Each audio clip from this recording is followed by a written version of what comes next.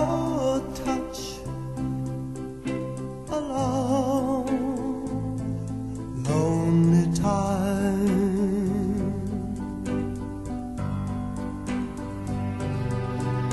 And time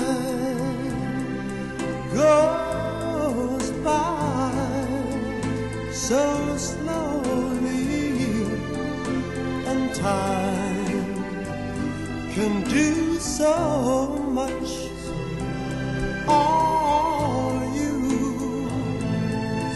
still more.